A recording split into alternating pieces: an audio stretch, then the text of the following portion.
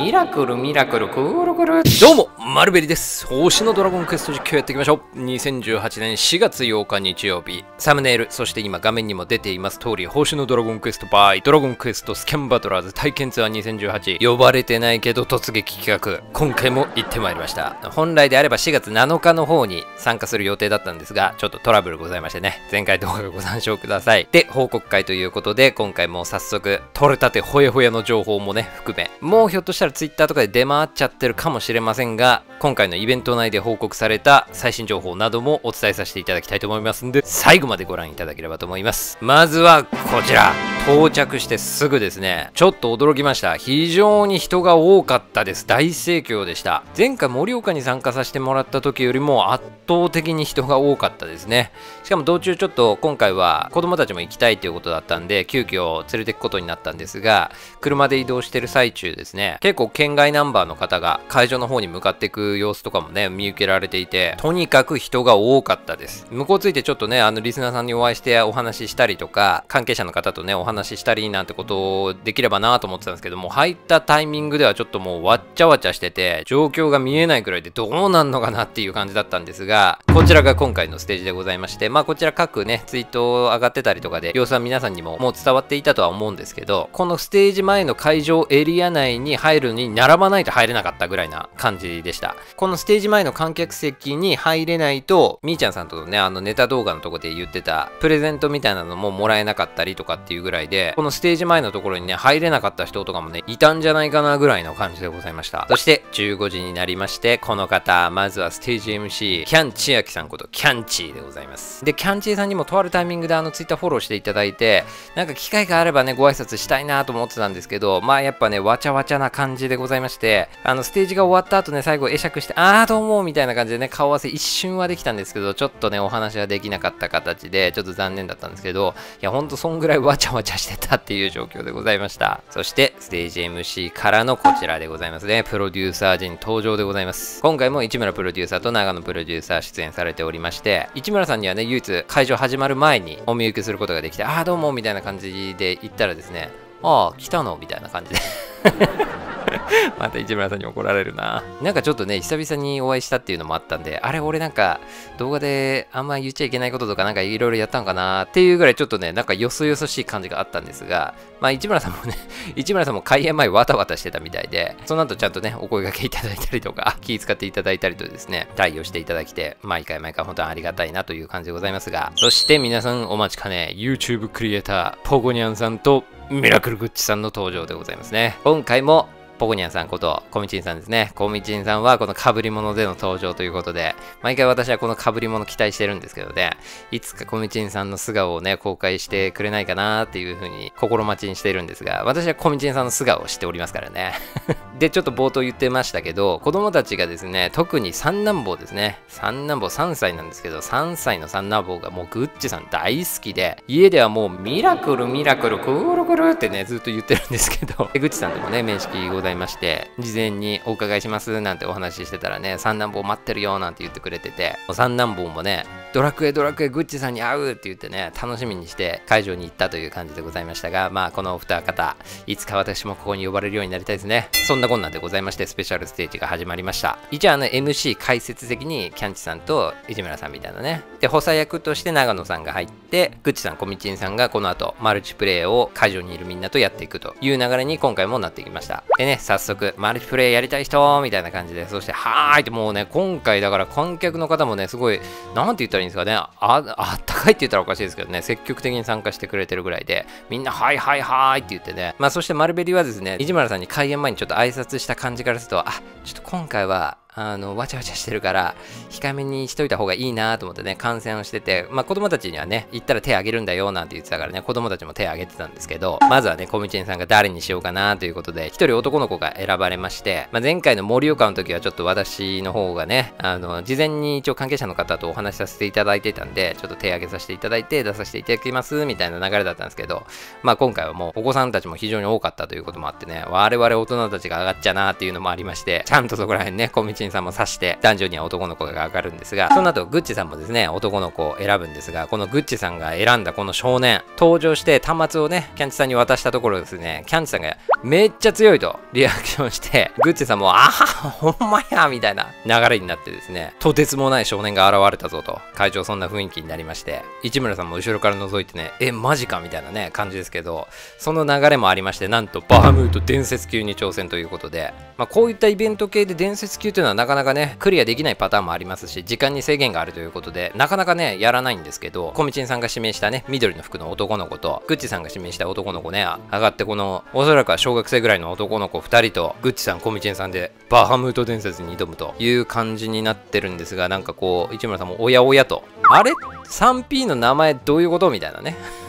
そうなんです。多分ね、これちょっとほんと申し訳ないんですけど、多分グッチさんが気使ってくれたんでしょうね。グッチさんにもう事前にお伺いしますなんて言ってて、開演前にちょっと顔合わせとかはできてなかったんで、まあ、今回は本当に参加させてもらって、その後リスナーさんがね、いらっしゃったら一緒にコミュニケーション取れればなぐらいに思ってたんですが、先ほどキャンチさんが強いって反応してたグッチさんが選んでくれた男の子、実はアニベリ君でございました。アニベリ君の端末も一応持ってってですね、選ばれたら自分の端末でやんなさいっていう風に言ってたんですけど、なんか会場の Wi-Fi が繋がんなくて、急遽私の端末を渡してですね、なんとマルベリ端末でやってもらったという感じになっておりまして、まあなんかほんと気遣ってもらったなーっていうのもあって、あの、心苦しいばかりだったんですけど、まあ他にもね、いろんな方いて、楽しみにされてた方もいたんでね、その方優先にしていただくっていう形の方がね、良かったのかなっていう感じだったんですけど、まあ一つね、ネタと言いますか、えー、一盛り上がり作っていただいて。で、よくよく見るとこれね、コミチンさんとグッチさんと私フレンドだったんで しかもなぜかフレンドみたいな、うひょーみたいなグッチさんがリアクションしてくれてね。まあ、ここら辺のグッチさんのリアクション見てね、三男坊のミニベリとかもね、非常に喜んでおりました。まあ、そんなこんなでね、マルチがスタートしまして、アニベリ君がマルベリ端末を使ってね、グッチさん、コミチンさんとか、隣の男の子とね、連携取りながらマルチがスタートしました。で、もちろんバハムートといえばですね、もう伝説級でも初手メガフレアでございますよ。まあ、言ったらね、耐性なかったらワンチャンほぼ全滅っていうかね、まあ、黄色ゲージか赤ゲージまで、ギリまで持ってかれるぐらいもワンチャンあったんですが、ちょっと画面見にくくはななっちゃってるんですけどね、2P の男の子がギリなんとか受け切ったと。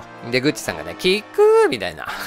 ただ 2P の仲間がピンチだったんですけど、今回編成的にね、回復色、グッチさんがマラ1枚持ってたぐらいで、まあなんとか道具でね、フォローアップできればってとこだったんですが、マルベリアカウントはね、この間の伝説級で紹介してたパラで用意していたんで、まあしかしアニベリにね、潜入の盾で守んなさいよとかっていうのね、事前に言ってなかったんでね、あー気づくかなーとかって思ってたんですが、ここでですよ。その後ヘビーストライクでガード封印食らったんですけど、ちゃんと戦友盾で HP の低かった 2P の男の子を守っていくんですね。長野さんもね、うわ、戦友の手で使ったみたいな感じでね、さすがの立ち回りだみたいな。お父さんの教育ですね、これは、なんていう話をしてたんですけど、全くそんなね、話もしてなかったんですけど、単純にアニベリがナイス立ち回りでね、戦友をうまく駆使してね、見事クリアすることができました。もうグッチさんもね、ウォーみたいな感じで、やっぱりある程度伝説級だと歯応えもあって、こういうイベントごとでね、リアルタイムにやるとね、やっぱ盛り上がりがあったなという感じでございました。その後ね、キャンチさんからね、強かったねみたいなね、アニベリ君がね、ちゃんとインタビュー受けてましたけど、ボソボソボソボソ何言ってるかわかんなかったです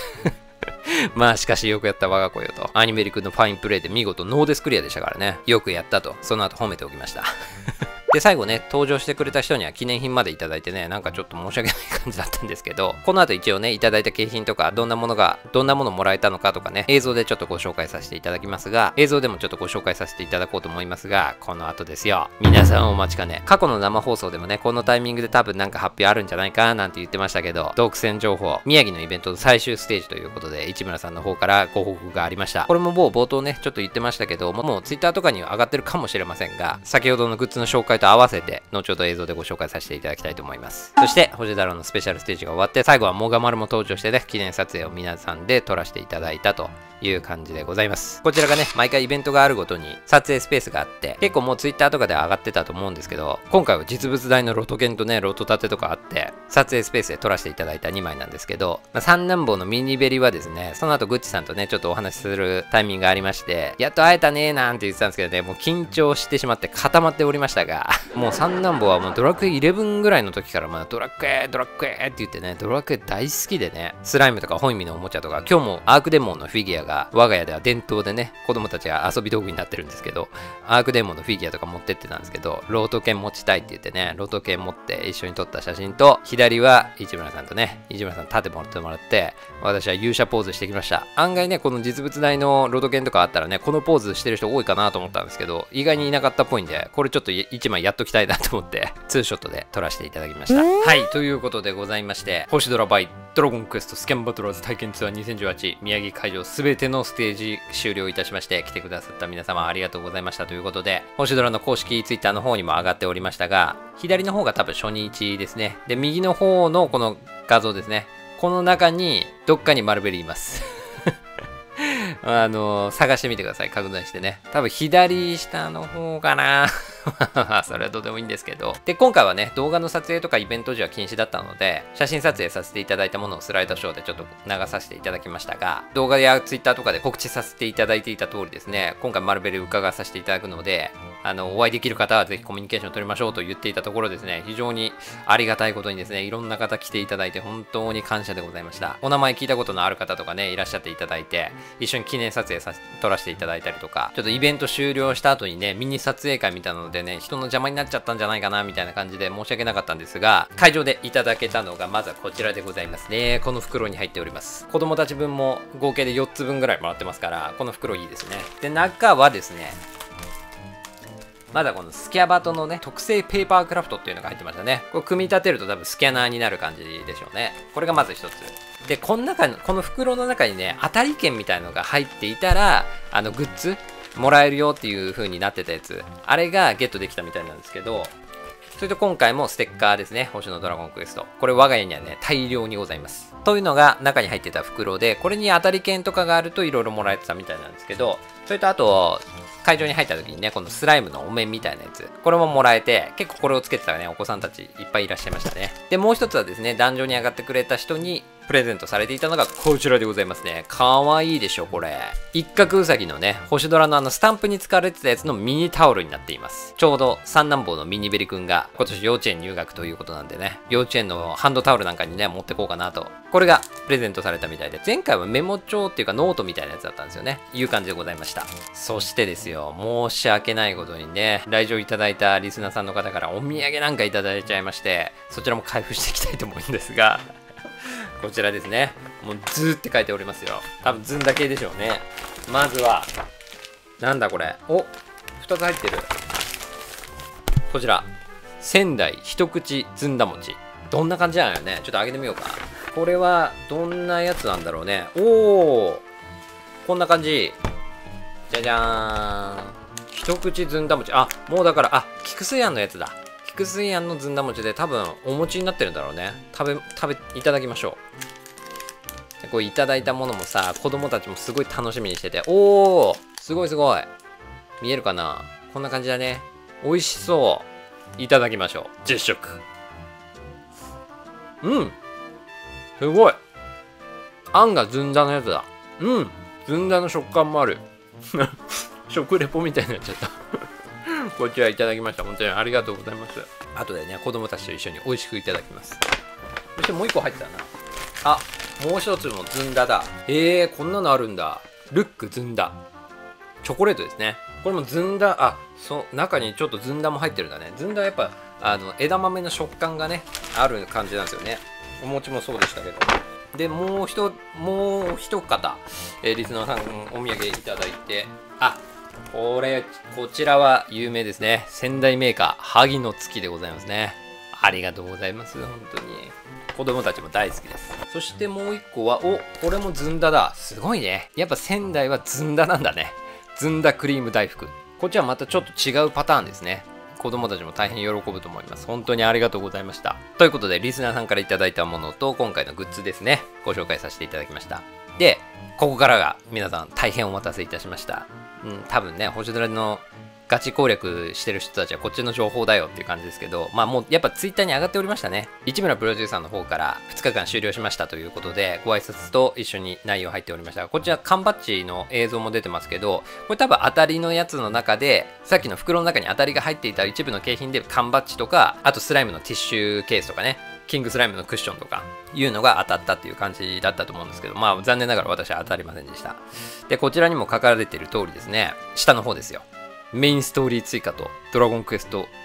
8後半も近々ありますのでお楽しみにというふうに書かれておりますが、まあ近々っていうのはいつなんですかっていうのをちょっと今回はね、せっかく市村さんともお話できた機会あったんで伺ったんですけど、次のアップデートです。まあ、あの、なんとなく、会場で発表された時も次のアップデートぐらいかなみたいな話もあったんでね。あの他の市村さんとか公式ツイッター以外で誰かつぶやいてる方いるいらっしゃるかもしれませんが次のアップデートで順次なのかどうかはちょっとわかんないですけどまあ監修自体は同時にもう完了してるということだったのでメインストーリードラゴンクエスト8後半。でボス魔王はラブソン。これが出るというふうに明言がございました。ということなんで、今現状開催されているイベントの日程、もう一度確認していきましょう。はい、画面星空の方に変わりましたが、現状開催中の FF メビウスコラボが4月の18日の1時までという形なので、おそらく4月18日の2時からメンテナンスで、朝にはですね、メンテナンス開けて、そこでおそらくメインストーリーの追加か、8コラボの後半、どちらかが来る、ないしは同時に来るかもしれないということでございました。まあおそらくはシーズン1の方なのか2なのかちょっとわかんないんですけど、そこに関してはちょっと情報はいただけませんでした。まあ1の方でもまだ現状のブルリア製で雲が覆いかかってる部分もあるので、そこら辺が解放されるのか、シーズン2の新たな内容が追加されるのかになりそうでございますね。で、8がさ、8後半が来るということで、まあラブソン魔王も来るっていう感じなんですけど、竜神剣がどうなるのか。そこら辺の情報もね、いただきたかったんですけど、さすがにそこまで突っ込めなかったんですが、まあ、竜神王装備という形でガチャで来るのか、まさかの竜神錬金がもはや来るのか。どうなってくるのか、そこちょっと楽しみにしてね。まあ、時期的にはもうすぐでございます。FF コラボが終わったらすぐ来るっていう形なので、楽しみに待っていきたいなという感じだったんですけど、まあこれだけだったらね、もうすでに出ている情報ですから、全然仕事してないじゃないか、マルベルと怒られちゃうと思いますんで、私が一番気になってたところだけ、市村さんに確認してまいりました。モンスター闘技場ですよ。ジャンフェスの時に発表されて、まあ、近々っていうことだったんで、3月から5月の間、まあ、ドラクエの日に合わせてくんのかな？なんていう感じで思ってて、いつだいつだとね、過去動画でも結構期待して待ってたっていう感じはあったんですけど、やっぱ立て続けにいろんなイベントとか、まあカジノの件とかね、あと斜め上連勤の件もそうだと思うんですけど、結構立て続けにもう市村さん監修今入れてるみたいです。だから、まあ、開発チームも相当今てんやわんやみたいな形で、まあちょっと時期の明示はなかったんですけど、モンスター闘技場は相当面白くなるというふうに市村さんからいただきました。そのためにですね、ちゃんとしたもので出したいんだっていう感じでお言葉いただいたので、まあ、ちょ多少濁されてしまったので、ちょっとですね、まあ、5月に間に合うかどうかはちょっとわかんないですね。だからゆっくり待ちましょう。ただ、間違いないのは年内ですね。ジャンフェスの時に2018年内に実装する予定のものの話をしたという風な話をしていたんで、まあ、年内にはどっかで来るんでしょうけど、まあ、ゆっくり待ちましょうよっていう感じですね。いつだいつだっていう風にね、毎回ちょっと話をしてた部分もあったので、闘技場に関してはちょっとね、言及してもらいたかったなっていうのがあってですね、聞いてきたんですけど、ゆっくり待ちましょうという結論でございます。全然独占情報じゃねえじゃねえかってね、怒られそうですけど、それともう一つね、ちょっと忘れてた。あの、当日ね、この T シャツが目印ですって言ってたんだけど、私この上にシャツ羽織ってて、なんか雰囲気的にね、出しても大丈夫そうだったら出そうかなと思ったんですけど、あの、出せる雰囲気じゃなくて、出さなかったです なんだけど、本当に多くの方にね、現場でね、お話いただいて、あ、丸部さんですね、いつも見てますって言ってね、握手させていただいたりですね、ちょっとね、お話しさせていただいたり、皆さんと写真を撮らせていただいたりという形でですね、非常にありがたい限りでございました。またね、各種イベントで、え、参加できる部分があればですね、積極的に顔出したいなと思っておりますので、何卒よろしくお願いいたします。ということでございまして、今回の星空対決は、突撃報告会ということで、特選情報も含めお送りさせていただきました。今回の動画はここまでとさせていただきます。最後までご視聴いただきありがとうございました。またお会いしましょう。バイバーイ